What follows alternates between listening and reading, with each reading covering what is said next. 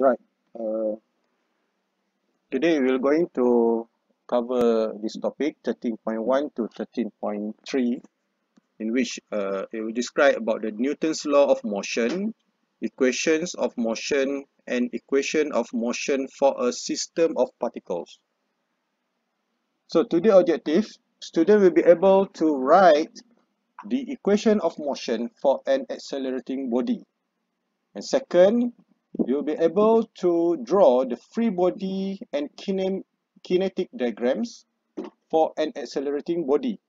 So before this, we just learned about how to draw the free body diagram in which it will consist of a body and the indication of force. But now we need to include another matter which is acceleration in a kinetic diagrams right? Just keep this part. Right. This is one of the application. The motion of an object depends on the forces acting on it. So for example this one a parachutist relies on the atmospheric drag resistance force generated by her parachute to limit her velocity. So for example this one if you see this is the parachute. And the parachute we create we uh, a force that we say as drag force. So the drag force is responsible to generate uh, a resist another resistance force in which it will reduce the velocity. Why? Because knowing the drag force, we technically we can have a, some kind of importance during the landing okay? Because it mentioned knowing the drag force how can we determine the acceleration or velocity of the parachutist at any point in time? Uh, so we can estimate how much is the acceleration acceleration and the velocity of the parachutist during the landing. All right another application the baggage. Okay in this figure the baggage truck a tows cart b and cart c if we know the, fri the frictional force developed at the, dri the driving wheels of the truck, could we determine the acceleration of the truck? But how? Can we also determine the horizontal force acting on the coupling between the truck and the cart B? Okay, this is needed when designing the coupling or understanding why it failed. Okay, another application, a freight elevator is lifted using a motor attached to a cable and pulley system as shown. So in this case, I have a motor here and then there's some kind of connection between three type three pulleys with some kind of cable in order to lift this this load Okay, how can we determine the tension force in the cable required to lift the elevator and load at a given acceleration? Okay, so means that we technically if we know how much is the motor operate and we can set how much the acceleration that we we want to use here, we technically can design how much is the cable as long as we know how much is the tension force developed in the cable. Right? This is needed to decide the size of the cable that should be, be used. The size here could be in terms of the diameter of the cable itself. Right? Is the tension force in the cable greater than the weight of the elevator and its load? Here you need to understand the summation of force. If the force tension is greater than the weight means that uh, the weight of the elevator and its loads means that the force uh, the means that the cable might be able to to break. All right newton's law of motion. The motion of a particle is governed by newton's three laws of motion. Okay the first one a particle or we say the first law a particle originally at rest or moving in a straight line at constant velocity will remain in this state if the resultant force acting on the particle is zero. What do you understand with constant velocity? Ve constant velocity technically if we derive that or we differentiate that with, res with respect to time, we'll get acceleration equal to zero.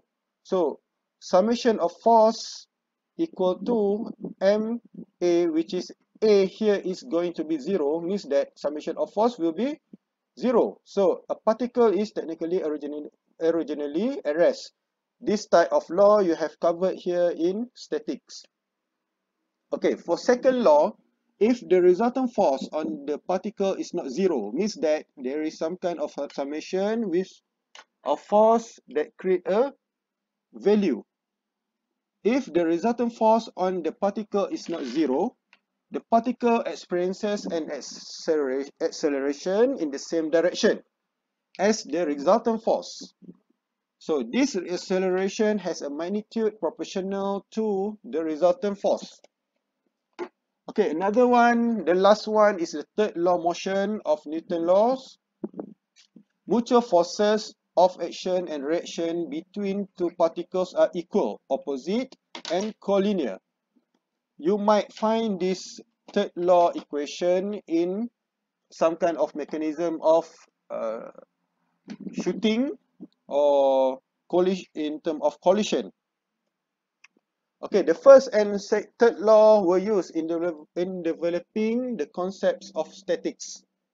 Newton's second law forms the basic of the study of dynamics. Okay, mathematically, Newton's second law of motion can be written as F equal to ma. If you see here, F is indicate is indicated in red with the same with A means that this is in term of vector where F is the resultant unbalanced force acting on the particle and A is the acceleration of the particle. The positive scalar m is the mass of the particle. So Newton's second law cannot be used when the particle speeds approach the speed of light or if the size of the particle is, is extremely small, which is approximately size of an atom. Right, this is uh, Newton's second law, uh, Newton's law of gravitational attraction. Any two particles or bodies have a mutually attractive gravitational force acting between them. Newton postulated the law governing this gravitational force as F equal to G m1 times m2 divided by r square, where F is technically is the force of attraction between two bodies. G is the universal constant of gravitation. M1 and M2 is the mass of the body and R is the distance between centers of the two bodies. When near to uh, when near the surface of the earth, the only the only gravitational force having any sizable magnitude is that between the earth of the body. So we say or we call this force as a weight of the body. So mass and weight, what is the difference between mass and weight? It is important to understand the difference between the mass and weight of a body. So mass, mass is an absolute property of a body. It is inde independent of the gravitational field in which it is measured. The mass provides a measure of the resistance of a body to change in velocity as defined by Newton's second law of motion. If we take the same F equal the same equation F equal to ma so we technically we can rearrange back m equal to f divided by a. So m here, the weight of the body is not absolute since it depends on the gravitational field in which it is measured. Weight is defined as w equal to mg. The mass that we obtain from the second Newton law here need to be uh, multiplied with g. g here is the acceleration due to gravity. For example, Earth, we have uh, g equal to 9.81 meter per second square. Alright, Right, SI system. SI system versus FPS system. SI system here, in the SI system of units, mass is a base unit and weight is the is a derived unit. Typically, mass is specified in kilograms. Uh, in short form, we put as kg and weight is calculated from W equal to M multiplied with G. So if the gravitational acceleration G is specified in unit of meter per second squares, then the weight is expressed in newtons n. So on the Earth's surface, G can be taken as G equal to 9.81 meter per second square. So we can put here W here means weight and the unit of weight is N Newton equal to M which is kg times G in term of meter per second square. So technically we can say Newton is actually equal to kg times meter per second square. Okay, equation of motion. Uh, this is section 13.2. The motion of a particle is governed by Newton's second law relating the unbalanced forces on a particle to its acceleration. If more than one force acts on the particle, the equation of motion can be written as summation of force. So summation of force here is actually resultant force and we say this as Fr equal to m mass times with A. A is the acceleration. Okay, so here we know that Fr is the resultant force which is a vector summation of all forces. So to illustrate this uh, this equation, uh, consider a particle act a particle acted on by two forces. If we take this blue dot here as a particle, for example, I have two force F1 in this direction and it is shorter shorter than f2 here so the shorter direction of f1 means that the magnitude is less than f2 but it will be in term of this direction if we put this in term of x y and uh, x y coordinates we would say f1 will be negative x and negative y while f2 will be negative x in this direction and positive y. But we need to know what in which direction the particles going to move. For example, if we know the direction of the particle in this direction, so I will say that A here is the direction of the acceleration in this direction. So, first draw, you need to draw the particle's free body diagram. Okay, this one will indicate you as a free body diagram because it is just a summation of force showing all of forces acting on the particles. Then next, draw the kinetic diagrams. What is kinetic diagram? Kinetic diagram is actually you need to refer back to this denotation M cross A in which showing the initial force MA acting on the same direction as the resultant force Fr. So here, this is our free body diagram of this particle in which we need to denote or we need to draw the particle and we need to show where is the direction of the force. So technically, you are just drawing this, this part, summation of force. And then, what is the kinetic diagram? Kinetic diagram, you are showing the particle and its direction of acceleration here ma so you are technically referring to this part ma okay initial frame of reference. This equation of motion is valid if the acceleration is measured in a newtonian newtonian or initial frame of reference. But what does it this means? For problems concerned with motion or uh, sorry, for problems concerned with motions at or near the Earth's surface, we typically assume our initial frame to be fixed to the earth. So we neglect, actually we neglect any acceleration effects from the earth rotation. So we just actually we we just assume that the earth is actually fixed. Uh, for problems involving satellites or rockets, the initial frame of reference is often fixed to the star. Okay, equation of motion for a system of particles. This is section 13.3. The equation of motion can be extended to include systems of particles. So, but uh, this includes the motion of solids, liquids, or gas system. So I have a initial initial frame x, y, and z. So this is my particles. Okay, as in statics, there are internal forces and external forces acting on the system.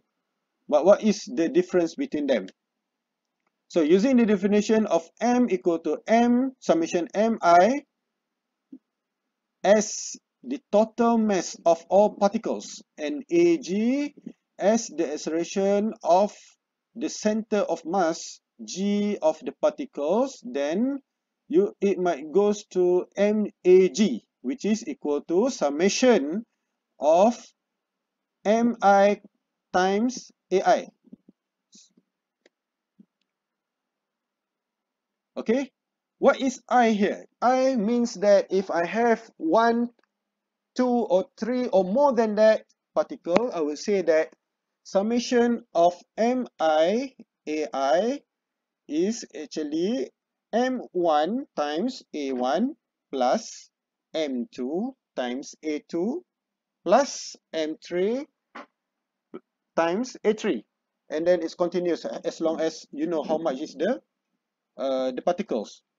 So the summation of each uh, particle is actually M times AG M here is the total mass. Uh, it's mentioned here. M here as the total mass of all particles means that you need to you have considered all the particles and ag is the acceleration of the center of mass means that you have combined all the particles as one body and you need to determine where is the center of gravity. So that's the location of ag. Okay the text shows the detail. But for a system of particles summation of force equal to MAG where summation of force is the sum of the external forces acting on the entire system. Right, I would take example of this body. For example, if this is I, so I have more than one particle. I uh, this is one, two, three, four, five, six, and so on. But as long as it is consists in one system, I need to determine where is the gravita gravitational center or cent we all, all, always mention that as center of mass. So for example, this one, so I would say that this is my G, this is my gravity. So means that AG will be location uh, located here. So the key point of uh, to solve this question, uh, to solve this this problem here in this topic. Newton's second law is the law of nature in which it is experimentally proven, not in the result of an analytical proof. Second, mass, a property of an object, is a measure of the resistance to a change in velocity of the object. Okay, third, the weight in which we denote that as a force depends on the local gravitational field. Means that if the mass is measured in Earth, it will be different if we measure the uh, the weight in another planets. For example, Mars, Neptune, Pluto. Uh, Pluto is not considered as a planet anymore, or any other any other planets. So here, the one that going to change is G. So you need to uh, calculating the weight of an object is the application of F summation e F equal to MA in which W equal to MG. Okay. For the fourth uh, points, unbalanced forces cause the acceleration of objects. So this condition is fundamental to all dynamics problem. Okay, this is the procedure for the application of the equation of motion. First, you need to select a convenient initial coordinate system. Either it is rectangular, normal or tangential or cylindrical coordinates may be used. Okay, second, you need to draw. Okay, this is the point that students always miss. You need to draw a free body diagram showing all external forces applied to the particles. Like we said just now, summation of F. So you need to identify all the force that acting on the body. So you need to resolve forces into their appropriate components. For example, if I have a vector, I need to resolve that uh, uh, the force vector force and I need to resolve that in terms of fx and fy. Okay, this one, if you know in dynamics summation of force based on the Newton's second law, summation of force equal to ma. So the force summation of force we have denote here in the point three, point two. Draw the free body diagram. But the third one is kinetic diagram, showing the particle's initial force ma.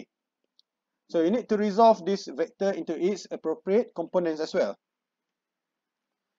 Okay, for apply apply the equation of motion in the scalar components form and solve this equation for the unknowns. What means by in their scalar components form? Okay, for example, if I have summation of force the summation of force will be uh, can be referred to fx plus fy plus fz and so on which is also equal to max plus may plus maz so you once you identify where is the component of fx and ay you put that uh, you separate that into its own components. So we say that as a scalar components. So you solve for x component, you solve for y component, and then z component. Uh, that's one of the example. But it might be differ if you use another initial coordinate system like normal, tangential, or cylindrical coordinates. Okay, it may be necessary to apply the proper kinematic eh, relations to generate additional equations. So it's not only restricted to summation of Fy equal to MA, but you might need to apply another components like uh, whatever we learn in projectile motion, whatever we learn in another theory of physics. So everything might be concerned if you want to solve the problem here. Okay. Right, let's take a look an example of uh, this given in this given slide. Okay, uh, given a 25 kilogram block is subjected to the force F equal to 100 newtons. Okay, the spring has a stiffness of K. K here is the stiffness of the spring equal to 200 newton per meter and its in and is unstretched when the block is at A. Okay, the contact surface is smooth. If you see here, I have only one block in which uh, in the first place it is in A position here and it is kind of attached to a spring to this point. So the length of the spring is actually 0.3 meter towards the, the center. And it is being uh, subjected to a force of 100 Newton. After several distance, S, here, the block is now uh, being located here. So now, if you see the block is at a new position, while the spring is some kind of stretch from this posi uh, from this length to this length while you know that the spring is actually equal uh, the spring has a stiffness equal to 200 newton per second. Uh 200 newton per meter. Okay. Okay so what do you need to do?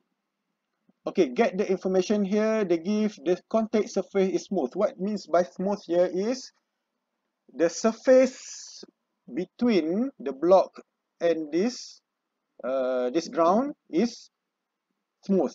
So means there is no friction. It is frictionless. So means that fs we always uh, put that uh, friction force as fs is actually zero.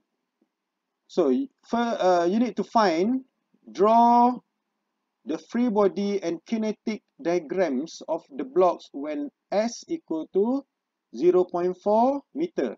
So here for example if we put s here equal to 0.4 so you need to draw the free body diagram and the kinetic diagrams of this block at that position. How to do that? First you need to define an initial coordinate system. Either it is x y z or uh, nt for example. So you need to define by yourself. You need to decide which type of plane or initial coordinate system that you want to use okay, second draw the block free body diagram showing all external forces remember that free body diagram just now is is summation of force Okay, third, draw the block's kinetic diagram in which kinetic diagram will be uh, the measurement of MA, showing all the initial force vector in the proper direction. Okay, an initial SY frame can be defined as fixed to the ground. Okay, this is the solution. Uh, second, draw the free body diagram of the blocks. How to do that? Okay, you need to consider once the block has moved 0.4 meter because it mentioned here 0.4 meter s so what's going to happen there okay i have a block and i also have this is my block this is the weight acting on the body which is w equal to mg m here is 25 kilogram so means that 25 times G and it is always pointing downwards because it is concerned with the gravitational force. Okay, it's mentioned it is subjected to F equal to 100 Newton. Okay, once we have uh, the, the, the block is actually lay, uh, laying on the ground, so we actually we have another force, we say this one as neutral force. Normal force sorry. So this is normal force. Why normal? Because normal always pointed 90 degree from the ground. If you see here the ground is actually perpendicular in this direction and this is 90 degree so it's always pointing opposite to the uh, to the wake or ground right so where's the spring Okay, the spring is here. If you see, it is mentioned that F, uh, the K here is actually 200 Newton per meter. So the formula of solving for spring is Fs equal to K times with S. So is is actually F equal to Ks. But what is S here? Okay, S here is uh, they mention that S in term of delta because there is some kind of changes changes in term of displacement. So delta here is actually changes of displacement. Or we say in this case is spring deformation. So when S equal to 0.4 this displace uh, the changes in term of the spring is actually 0.5 minus 0.3 which is equal to 0.2 where do you get 0.5 here? Okay 0.5 is actually when we refer back to this diagram this is 0.3 while this is 0.4 because they mentioned here 0.4. So if we uh, calculate by using the theorem Pythagoras, 0.4, we have 4, 3, while this one will be 5. So this is going to be 0.5. So you need, so the initial uh, springs uh, length is actually 0.3 while the final one is 0.5. So we know that the deformation of the spring will be 0.5 minus 0.3 which is equal to 0.2. So once you know the 0.2, technically we know Fs in which Fs equal to 200 which is this is K, the springs constant. Uh, springs constant is the spring stiffness constant times with the deformation of the spring. So 200 times 0.2 in which it will give you 40 okay 40 newton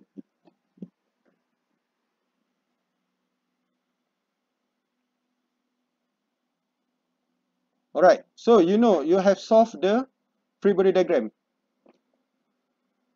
so this is also mentioned there is no friction force why because the contact surface is smooth. Right, so now you need to draw the kinetic diagrams of the blocks. Okay, you know that uh, when the force is acting on this body towards this direction, where is the direction of the motion? It technically will be in this direction. So you know that the acceleration will be point, pointed towards this direction. So it will be easy for you to determine the direction of the kinetic diagram. So you just put here as uh, uh, this is considered as G or this is center of mass. So time means that 25 times A. So the block will be moved to the right. The acceleration can be directed to right if the block is speeding up or to the left if it is slowing down. Okay, finish that part.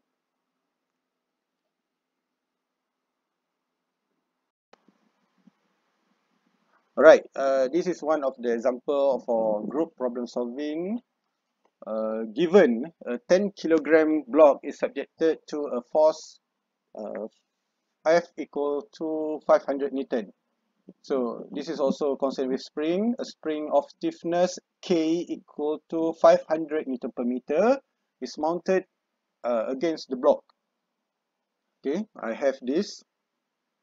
This is the block and this is this the spring while this is my external force it is not uh, in one direction as a spring but I have some kind of inclination here so when s equal to 0 s uh, equal to uh, 0 means that the block is at rest it doesn't move anywhere and the spring is uncompressed means this is a in the neutral form so the contact surface is smooth the same when I say contact surface is smooth means that I don't have any friction force.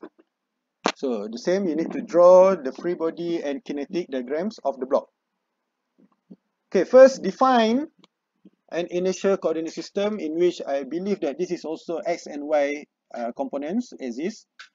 And then uh, draw the block's free body diagram showing all external forces applied to the block in the proper direction. Okay, this is free body diagram concerned with the force. While the third one is draw the block's kinetic diagram showing the initial force vector MA in the proper direction. So if based on my based on my uh, understanding, if I have a force here, the block's going to move in this direction. So how to solve this? First, you need to uh, identify the inertial XY frame and then just draw the free body diagram based on the Newton second law summation of force summation of F and then the last uh, okay this one for example this one so you need to imagine that we have pull uh, we have applied the force here so what whatever happened here you need to imagine that that in your mind for example if I apply the force here of course the spring will compress. So what is the direction of the compression towards the blocks? So you need to, to be able to define that. Okay, I have a force of 500 Newton in this direction. So if I consider the spring itself, it will have a reaction force here. So it will point the force of due to the spring will pointed towards the the box of the block. And the same I'm going to have weight of the mass 10 times G and also new uh, normal force here. So uh, I will consider that I have finished identify all the forces and I can draw my free body diagram. Okay, now draw the kinetic diagram of the blocks. This is very easy because you know once you apply the force here, uh, the, the box will move towards this direction. So just put that as 10A. So means that the blocks the block will move to the right. The acceleration can be directed to the right if the block is speeding up or to the left if it is slowing down. So this uh, you might okay this is uh, the end of this lecture whatever it is uh, just go through back this lecture and if you have any question let's uh, discuss later. Thank you very much